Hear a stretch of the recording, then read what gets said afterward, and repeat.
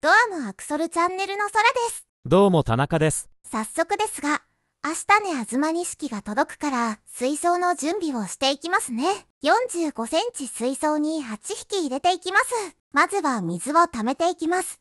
水道水を入れていきます。今回は来週、水槽メンテナンス先の水槽に、このあずま錦を持っていかないといけないので、それまでの間のストック水槽となります。トリートメントストック水槽です。そうそう。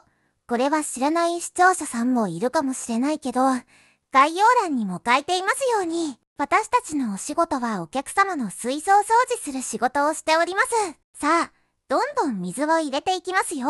水を浄化するためのろ過器を設置します。水作さんの水作 8M サイズです。あと、もう一つ S サイズもつけていきます。S サイズ一つと M サイズ一つ、二つ体制でいきます。サイズが違うのはたまたまです。二つがなかっただけです。深い意味はありません。ハウトゥー動画でないので、結構適当でいきますよ。みんなついてきてくださいね。ハウトゥー動画じゃないので、機械の細かい説明なんかしませんね。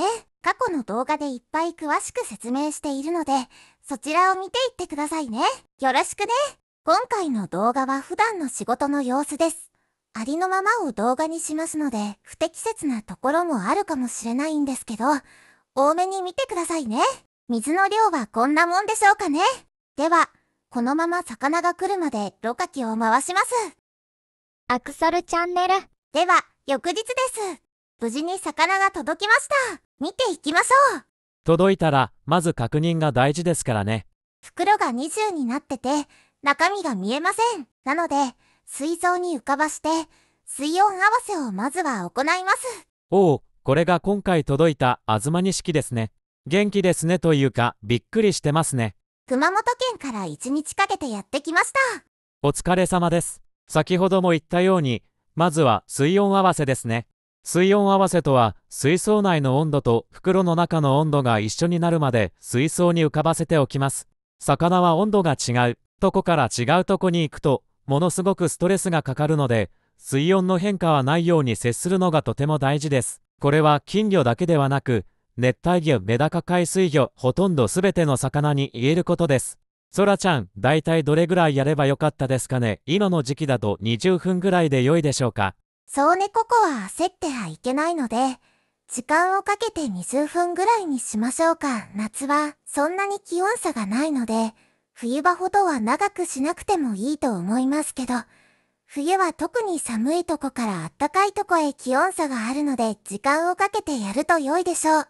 では20分ぐらい経ちましたので、水槽の温度と同じになったと思います。次は第2の工程水質合わせです。水質合わせとは、の水質と水槽の中の水質がかけ離れていると、ストレスを与えてしまうので、程よく混ぜていき、時間をかけて混ぜていき、似たような水質になるまで行うことを水質合わせと言います。水質合わせはどれぐらい行いましょうか？そうね。袋の水と水槽の水が1対1になるようこまめに時間をかけて10分おきぐらいに混ぜていき、1時間ぐらいやっていきますね。今回は、魚の種類などで時間は変わりますね。エビだともうちょっと時間をかけてゆっくりやった方がいいですね。さあ、水合わせも大詰めですよ。では少し早送りしますね。しかし、今回も素敵なあずま錦が届いて、本当に良かったです。さあ、水合わせも終了しましたので、水槽内に入れていきましょうね。袋の中の水ごと出しますか？それとも網ですくって魚だけを入れますか？はい。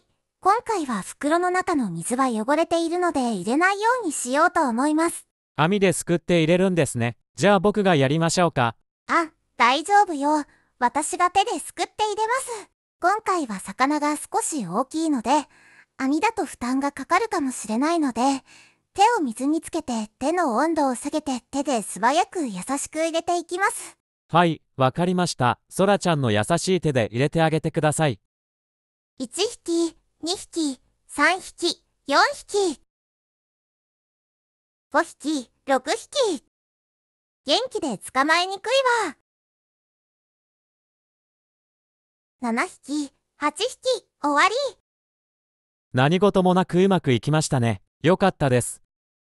まあびっくりしてみんな落ち着かないので、この後は一旦電気を消してそっとしときましょう。落ち着いたらまた撮影しましょうね。アクソルチャンネル。約1時間ほど経過した感じです。まだまだ落ち着きはないですけど、少し様子も気になるところなので、少し見ていきましょうか。赤が強い東錦です。香港便東錦、搭載魚です。3週間ほど前に熊本の問屋さんに入荷したことなので、もう日本の水には慣れていると思います。やはり国産の東錦とは少し違うような気がしますね。底面のガラスが光に反射して少し落ち着かないんでしょアクソルチャンネル。少し時間が経ち、だいぶ落ち着いてきた頃の様子です。う。まだまだ本調子ではないでしょうけど、だいぶ落ち着いてきた感じでしょうか。このまま約10日間ほど、このストック水素で様子を見て、状態を上げて、それからお客様の1500水槽に入れようと思っています。そらちゃん良い機会なので、僕たちの仕事軽く説明したらどうでしょうかというか、僕が説明しても良いでしょうか？そうね良い機会なので、軽く説明したらいいかもしれませんね。よろしくね。はい、ということで、そらちゃんと僕田中を含めてというか、中の人は水槽の掃除屋さんをしております。具体的に言うと、病院や介護施設や会社の事務所の中にある水槽などを、忙しいお客様の代わりに水槽の掃除や水を変えたり、魚の世話をして管理を代行しております。まあ、簡単に言うと、水槽掃除の代行屋さんですね。ちなみに、この東錦8匹を持っていくところは個人宅ですが、会社の社長さん宅ですね。今回は撮影依頼は許可が出なかったので、この東錦8匹を導入する様子は動画にできなかったのは残念でしたが、他の撮影許可が出るところもありますので、その時は動画にして皆さんに仕事の作業動画など出したいなとは思っております。その時はご視聴よろしくお願いします。そうそう。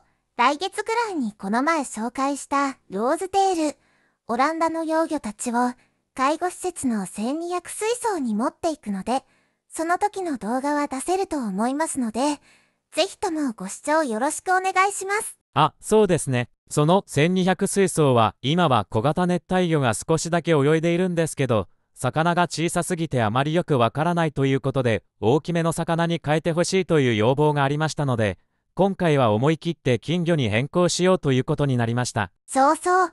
それもそうだし、あとは同じ風景がずっと続くのも飽きてくるので、やはり定期的に模様替えや気分転換の変更もこういう場合は大事になってきますので、ちょうど良い機会だと思って変更するような感じです。という感じで、今回は私たちの仕事の内容と、それに関わる金魚ちゃん8匹の様子をお送りしました。また次回も見てくださいね。バイバイ。バイ